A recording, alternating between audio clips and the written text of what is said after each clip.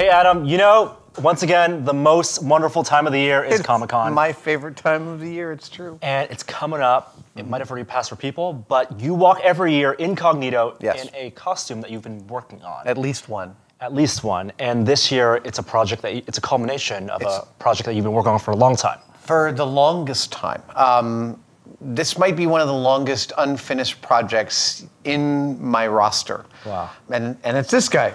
It's It's, one this- of my all favorite costumes on the planet. This is a replica of the spacesuit from Alien. The environmental suit when Yes. they walk into the derelict, and it's Kane's spacesuit. Exactly. It's John Hurt's spacesuit, the one that he's wearing when he gets the face hugger on his face. And that's because it's yellow. Yes. The yellow bands. Yeah, and actually, all of the each of the suits. A lot of people don't realize when they watch the movie, but each of the suits was color coded to a character. Right. There's a blue There's band. a blue. There's a pink. There's a yellow, uh, and Ripley's is white. Uh, so they really wanted some separation. Like each of these suits was issued to the person. But Kane was the, the first one attacked by the facehugger. So that's the one that, we, that we see most of. Yes. And it's really unique spacesuit design. Well, so it, the the actual original design comes from uh, Jean Giraud uh, Moebius, uh, the famous comic book artist. Moebius was, along with Giger, part of the original design team for the great unfinished Dune. Yes. Uh, which the entire art department of Dune ended up sort of moving over and working on Alien. Because it's the same writer, Dan Ex- O'Bannon. Exactly.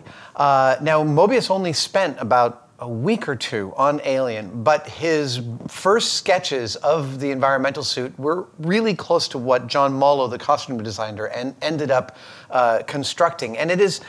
It's sort of an amazing amalgam of different styles. You've got this samurai armor. That's what everyone calls it the samurai shoulder pads and the armor the, plating. The cricket padding. The, the spacesuit gloves are basically Cooper hockey gloves. There's no nothing to them except that they're painted and they have some labels on them and they're slightly weathered. So I noticed you have a binder there of just research material. Can you walk us through Well- the beginning process from screen caps? What were the parts that you needed to identify, and what are the parts you needed to create? Well, okay, so uh, a lot of these parts come from castings off of original molds.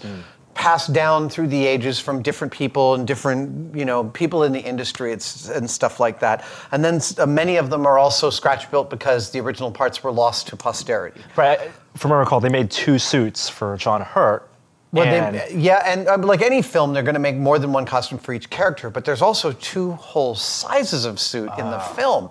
So when the astronauts come into the space jockey room and they see the space jockey and it looks really big, it looks really big because the actors are actually not the adults, they're they're actually kids in a three-quarter size suit. That's John Boorman's son, John Boorman, the director of, of many movies, including the original Excalibur, and Ridley Scott's son and one other kid. And there's some photos behind the scenes of these kids in the suits just looking so just some happy. perspective tricks. Not like the actors. The actors, like Veronica Cartwright and John Hurt and Tom Skerritt, these suits were a nightmare for them. They were passing out of heat exhaustion all the time.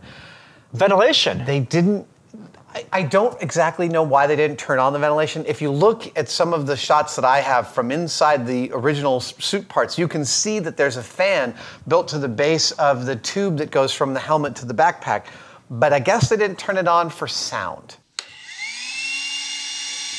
But now you've built that in. Yes. It's, it's, you got to walk around Comic Con with that. Exactly. Now, the, probably the most uh, intense bit of problem solving that I did on the suit was a lot of the sewing problem solving. I didn't make this suit. Um, uh, my friend Steve Laboito, who's a, a, a RPF member and an amazing, amazing model maker, um, he has worked with me on this over the years. And his wife, Danita, is an incredible seamstress and did all this work. Um, but way back in the early days of research on this, I managed to see a shot of somebody looking at this lacing, this weird lacing that, that Yep. makes up the arms. And I couldn't figure out where to find it or what it was or what it was from. You always try to think like a model maker, like where would they have gotten something like that? Is it off a piece of clothing? And then somebody peeled back and I could see a little flower under there. And by taking that flower to the amazing Britex Fabrics here in San Francisco, they sent me to the Design Center in San Francisco where someone was able to tell me that this is actually edge lacing from French broderie for lingerie. There's lingerie on the alien environment. Just the edge. And and it's really expensive. It's like twenty dollars a, a, a yard, and it takes like many many yards to make one of these. Also, this quilted uh, twill fabric on the on the pads and the leg pads is also very difficult to find. There was a, a ton of problem solving for all of the different textures and parts and pieces that meet each other on the costume, uh, and that took me months and months and months and months. And then I was able to pass on that information to Danita, who then refined my bad sewing skills mm-hmm. into a, a workable a, a, workable master costume. And it is exact to the original in every last detail. Uh, it, it velcros up the front with yellow velcro. The shirt and pants are separate, not like Ripley's. Ripley's white suit at the end of the movie is actually a One. single piece jumpsuit. Uh, I also have all sorts of working lights on it. And if you flip uh, these two switches the on back. the backpack, yep. Um, they actually lighting. They oh, light up. Oh, lighting on the inside. Yep, the lights on the inside of the helmet wow. and on the back of the helmet. You can see back here. Yeah. The uh, four status lights. Now I have gone with some more modern LEDs, mm-hmm. which means they're brighter. And here, where he, uh, the original suit had a really bright, like xenon element, yeah. I put uh, LED car headlight bulbs. Okay. Now, uh, also, it's very interesting. Um, most movies about space suits have lighting from inside that makes it very difficult to see.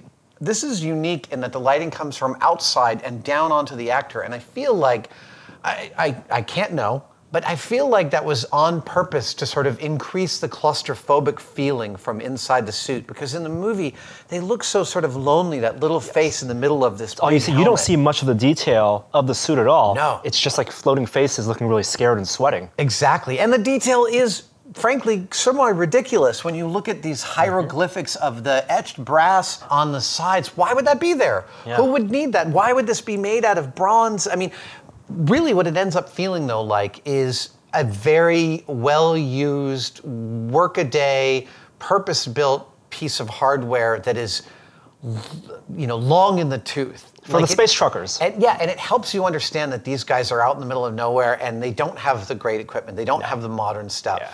They just want their end of the share, that yes. contract. Um, now, we saw this at Comic Con two years ago. Prop Store of London, Stephen yes. Lane, yeah. has one of the screen use he Has, he has Kane's original suit. The Kane, but it's even he doesn't have the, all the complete hardware. No. No, and, and the, some it, of his pieces, like the some chess of his piece. pieces come from some of the same lineage as some of my pieces yeah. do. Uh, and it's you know with with prop collecting like this, a lot of times these things get split off and split up, and it's very hard to gather them back together. Stephen's piece is, is an amazing thing, and I love that it exists. And I took hundreds of pictures of it mm-hmm. when it mm-hmm. was at Comic Con. It was very funny because I, I wore this knit cap. It sort of bolted out to the middle floor, took a whole bunch of pictures, and then bolted back to my hotel room.